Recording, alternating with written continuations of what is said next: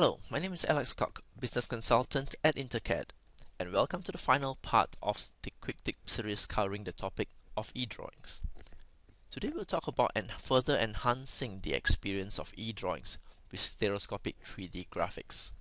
And I'm going to start off today by preempting some questions that probably will be popping up in the background. What exactly is stereoscopic 3D graphics? Some of us might not be familiar with this and don't we already work in 3D right now with SolidWorks, in e-drawings, and so on and so forth? Well, Wikipedia says this, but I'd like to say something else. Think about every time you walk in an electrical appliance store and we see a television that says 3D TV. Well, 3D TV is an application that makes use of stereoscopic 3D graphics. Or putting it in a very simple manner, this is your normal 3D that we work with on screen, in SOLIDWORKS, in e-drawings, and 3D stereoscopic graphics. Work something like this. This image might be an exaggeration, but it should provide an idea of what we're talking about today. So, how do we enable this capability in e-drawings? There is currently no available shortcut to directly activate the functionality for stereoscopic 3D support in eDrawings.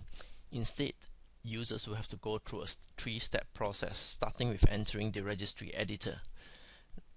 Now under the HKey current user, software, eDrawings folder, you'll need to enter the eDrawings version that we are using currently. For my case, it is eDrawings 2012 and under general we need to edit a specific option called stereo display. The default value for the stereo display entry is 0 we will need to change it to 1 having changed that option and saved it we now return to the eDrawings viewer. And under tools options we need to ensure that under performance graphics boost has been turned on and set to faster speed Step 3 involves opening a specific 3D file. In my case here, this is a drawing, it doesn't work. You will need to open a part or an assembly file, such as this, and ensure that perspective has been turned on.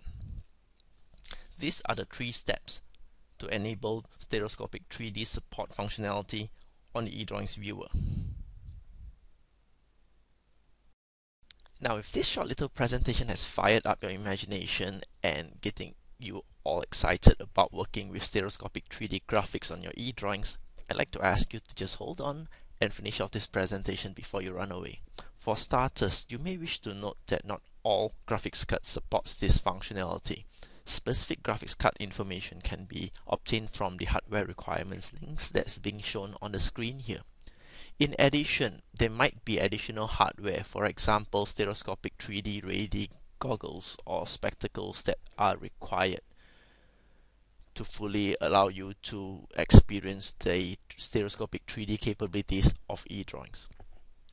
Or for more general information concerning working with e-drawings and stereoscopic 3D graphics, please do a search of e-drawings on www.nvidia.com. For more information regarding e-drawings, SOLIDWORKS or any related products, please contact Intercad at the numbers shown via email or on the internet. My name is Alex Kok, Business Consultant, and this has been a quick tip presentation proudly brought to you by Intercad.